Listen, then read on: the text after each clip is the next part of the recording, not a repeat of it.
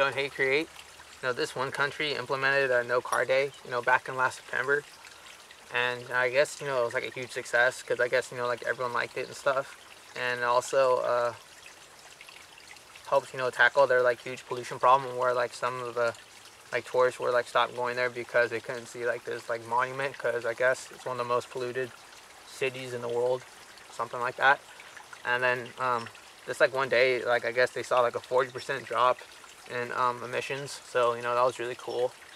And then I guess it was such a success that they're kind of like implementing like a one day a month, you know, like policy. Now it's not like without or like throughout like this whole city anymore. It's only throughout like I think like 30% of it, which you know is still pretty cool. And um, the only like problem I see with it is I don't know how people like go to work if there's no cars on the street or maybe it's just like public transportation. I think it was like public transportation was like free that day or something like that to get rid of cars and stuff like that. So, you know, it was really cool. And then, you know, that's probably why, you know, this country, you know, did it for this parade. Peace.